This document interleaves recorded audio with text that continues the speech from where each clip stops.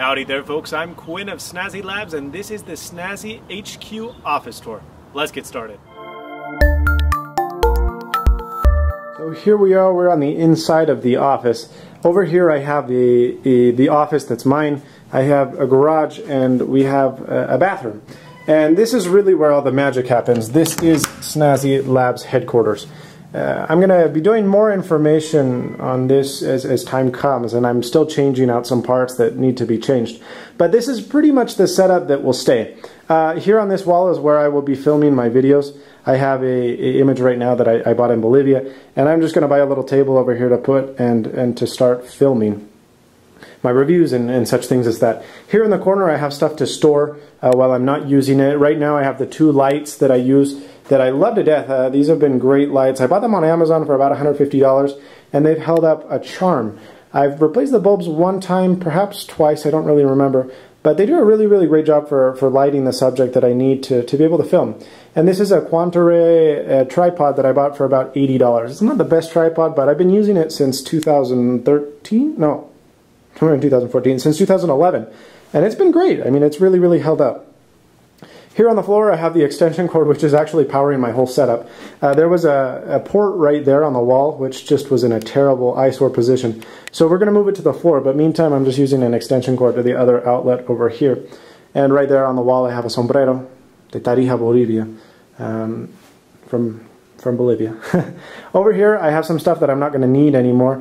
Uh, this Vizio display I'm going to sell uh, on the classifieds just because I don't need it. It's a 21 inch display that I was using for quite a while, but it no longer is, is something that I need. Here on the floor I have my Apple Mac Pro, uh, the box rather, which I'm just going to put into storage. And there is a Thunderbolt cable, which I don't need. I bought that actually to hook up from my Mac Pro to my display, but I, I had not remembered or I had not known that the Asus displays don't carry a mini DisplayPort input. It's just a regular DisplayPort. So I had to buy a cable from Amazon and I'll be returning that little bad boy right now actually to the Apple Store. Here on my desk I have a MacBook Air, the 2013 model that I mentioned the other day. I have my Mac, uh, excuse me, my iPad Mini Retina and I have the HTC One M8. I'm in love with all three of the devices. I'll be talking a little bit more about them in the future. And this is probably the, the most substantial, the most special thing about my setup, which is the new Apple Mac Pro. I just bought the baseline model. I got the 4-core, uh, I think it's 3.06 uh, gigahertz. It's a quad-core uh, processor. I have the, the standard 12 gigabytes of RAM and the basic 256 gigabytes of storage. It's not the best specs, but for what I need, it's just fine. I'm really expecting that this Mac will last me at least three to four years. I mean, it's it's great. I, I don't have any reason to to put in buku hardware because I'm just not going to use it. Here on the MacBook Air, I do have more storage. Actually, I have 500 uh, gigabytes of storage, and I have um, eight gigabytes of RAM. But this Mac, uh, this Mac Pro is a lot more powerful, and it's it's actually just going to stay here at work. It's for editing and for processing, and that's really about it. My daily driver that I'm going to use to listen to music, be on the internet, all that stuff, is my MacBook Air that I'll use at home and at, at, at school in the university. So that's about it. Uh, right here, I have two Klipsch speakers, uh, which I, I love. I'm quite fond of. They're actually hooked down on the floor to the subwoofer here.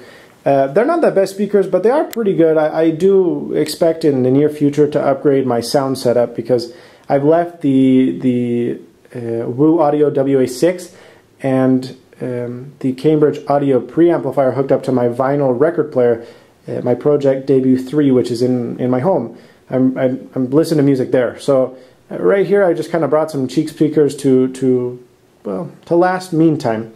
Here on the floor, I also have a UPS. This is a, basically a big battery pack that, that fuels my, my setup in case of a power outage. Not only does it have a surge processor, uh, protector, but it also has a, a pretty good battery. So if for whatever reason the power goes out, which oftentimes here it does, I'll have at least a couple minutes to, to close down my work and all that stuff. And I'm actually going to install some software that's provided by the manufacturer, which is CyberPower, to have my Mac automatically shut itself down in case there is a power outage so that there's no data loss. And here on the floor I have my Drobo FS, which I reviewed about two years ago before I left. This has still got the same uh, three, well there's three hard drives, each are two terabytes a piece. So there's six terabytes in total of storage, but I can only write to four terabytes because the other two are redundant. Just in case one of the drives fails, there's no data loss. Right here I have the Das Keyboard S Ultimate series. This was a keyboard that I bought on Amazon. As you can see, it's a little bit different than the one I uh, reviewed two years ago. There's no markings on the keys, which I, I, thought was pretty slick. But it was a Windows keyboard, so I had to reprogram kind of uh, the keys in, a, in an applet that's available for uh, 10.9 uh, on the Mac. And right here I have my Logitech uh, Professional MX. It's a great mouse. I've been using this for two years, and uh, I love it. And underneath that is a Just Mobile um, mouse pad, which I am also quite fond of. This is kind of a, a plasticky uh, finish, plastic coating over the top of uh, aluminum, which is really rather cool. I have my coasters there, which I also bought in Bolivia, that are pretty cute. And here on the bottom, I have some stuff that's not quite hooked up yet.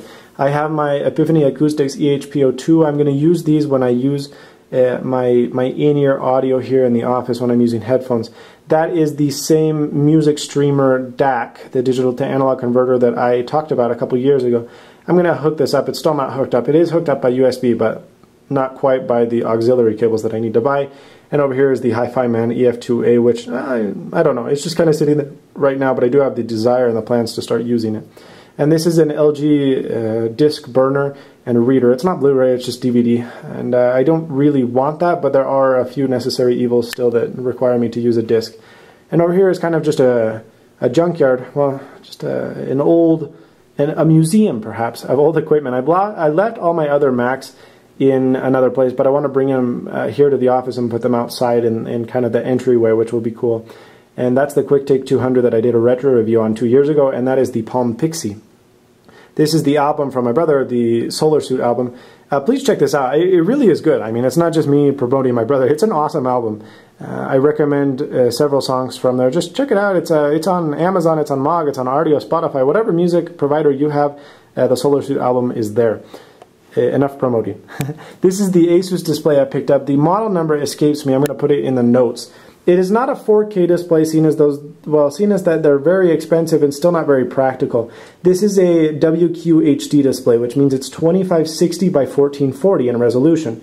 It's not quite as Retina as the Retina MacBook, but it is significantly better than the iMacs that are currently held by Apple, and it's also better than their own Thunderbolt display. So that's why I picked up this monitor. It looks amazing. I mean, it really does look good. And the best part is that it was $450 on Amazon, so that was great, and I'm very, very satisfied with the monitor. I'm going to get a wall bracket so I can put it up there on the wall. That would be nice. And then up there top, that is the Face Vision. I think it's the N1, which is the the HD webcam that they offer. It's a 720p camera. It's not the best, but it serves my purposes. And uh, this is the the Mac running the the version of of, uh, of Mavericks, which is 10.9.3. Uh, that was an update that came yesterday and promised bug fixes to this beloved Mac Pro. But I'm still experiencing some weird stuff. I'll talk about this in future videos. But when I do the actual video, um, or when I do heavy uh, duty processing, the Mac Pro performs great. When I have Final Cut open, there are no delays. It is awesome. And it processes like a beast. The problem is in just basic apps, switching windows and doing kind of stuff, it is very laggy. And sometimes it even it, it snatches, it, it hangs up for about one to two seconds, which is really bizarre. When I type on the keyboard quickly, it doesn't register very fast on the screen. There's a lot of stuff that Apple needs to do to kind of make this computer up to where it needs to be. But I, will be waiting for that patiently. Oh, my screensaver is just turned on. And, uh, well, that's really about it. I've talked about every part of my setup except for the microphone here. This is the Boom. And that is an Audio Technica ATR2000, I believe it's called. Um, the notes will also be listed um, in the notes will be listed the microphone. This is a microphone that I picked up on Amazon for 50 bucks and it sounds amazing.